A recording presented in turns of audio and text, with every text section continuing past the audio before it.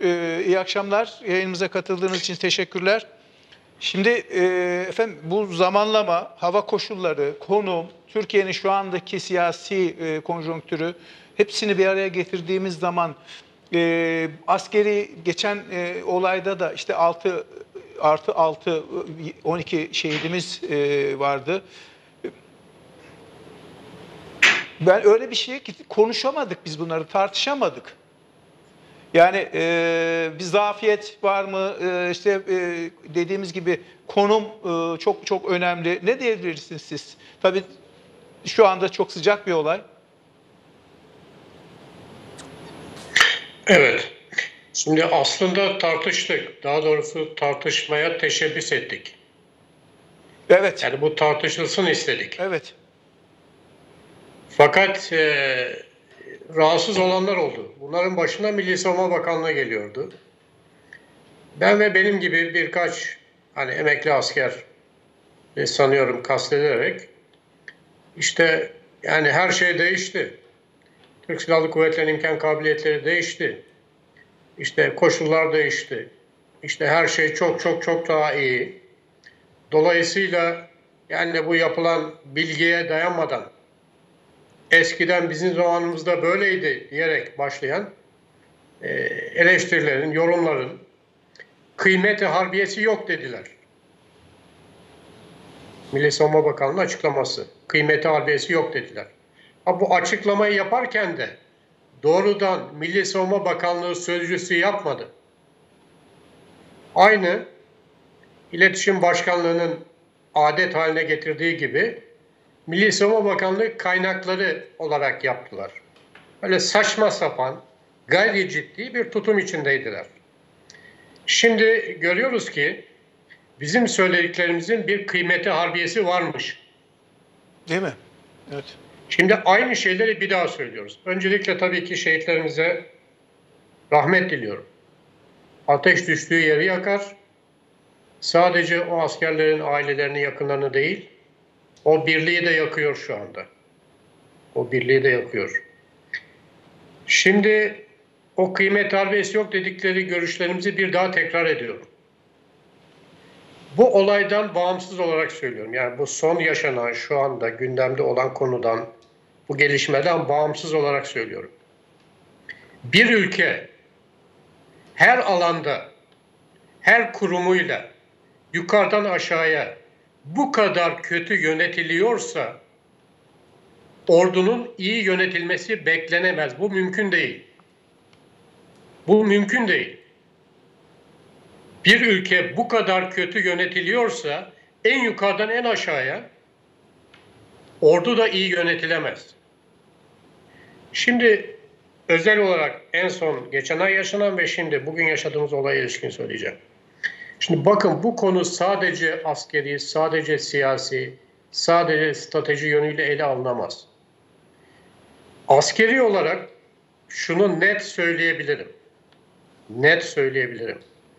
Yaşananlardan sonra, bütün bu yaşananlardan sonra bu kadar kısa bir zamanda böyle bir olay yaşanıyorsa mutlaka ve mutlaka mutlaka ve mutlaka o bölgede o birlikte çok ciddi sorun vardır. Bu sorun bir eğitim, iki disiplin moral, üç sevk idare noksanıdır. Mutlaka ve mutlaka bunun başka türlüsü düşünülemez. Dolayısıyla dolayısıyla Milli Savunma Bakanlığı'nın, Genelkurmay Başkanlığı'nın, hükümetin her kimse, her kim yapacaksa bir kere öncelikle o birliğin değiştirilmesi gerekir. Eğer o bölge mutlaka tutulması gerekiyorsa gerekli olabilir. Buna ben bir şey diyemem. Çünkü olay yani olay yerini, durumu, koşulları bilmiyorum.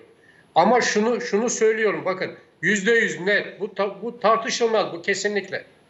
O birlik mutlaka ve mutlaka değiştirilmeli, geriye alınmalı ve oradaki sorunun ne olduğuna bakılması gerekir. Çok büyük ihtimalle her alanda sorun vardır. Yani tek bir konuda değil, bu söylediğim konular başta olmak üzere eğitim, disiplin moral, sevk idare başta olmak üzere mutlaka ve mutlaka sorun vardır.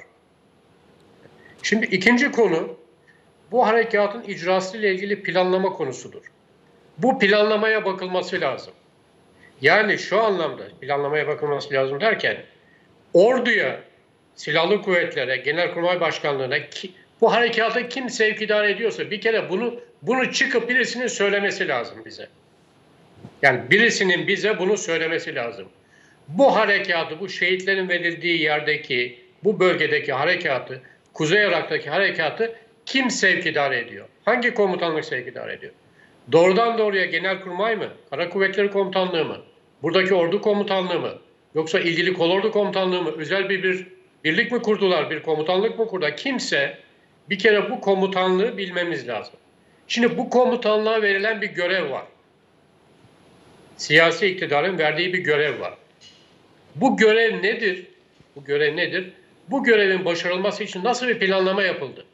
Bu kadar uzun zaman, iki yıla yakın süre geçmiş olmasına rağmen bu siyasi iktidarın verdiği hedef, o siyasi hedefi gerçekleştirecek askeri hedef, askeri sonuç niçin elde edilemiyor?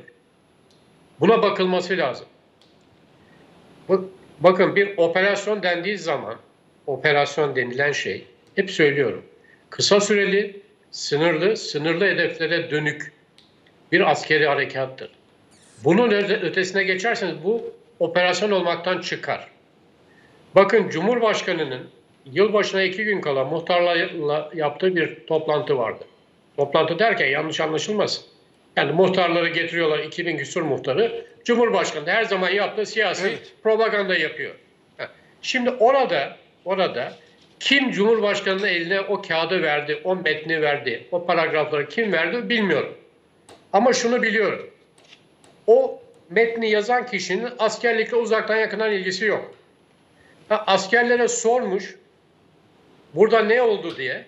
Oradan anladığı kadarıyla orada bir şeyler yazmış. Şimdi orada diyor ki Cumhurbaşkanı yani kağıttan okuyor tabii o da ne bilsin. Diyor ki efendim diyor biz diyor işte burada kalıcı üsler kuracaktık. Ancak işte arazi çok çetin. Kışta bastırdı. Dolayısıyla geçici üslerle idare etmek zorunda kalıyoruz. Gerekli tedbirleri alamadık. Ama ilkbahara doğru bunları alacağız. O zaman bunlar düzelecek. Yani bunlar Cumhurbaşkanı söylediğini yani kelime kelime olmasa da hani esas olarak söylediği bu. Şimdi anlaşılıyor ki, anlaşılıyor ki orada bir geçici üs, kalıcı üs, Cumhurbaşkanı kullandığı ifade kalıcı üs. Bakınız, askerlikte, askerlikte bir kışla tabiri vardır değil mi? Hani sizler de sivilde bil- bilirsiniz. Türkiye'nin çeşitli yerlerinde dolaştığınız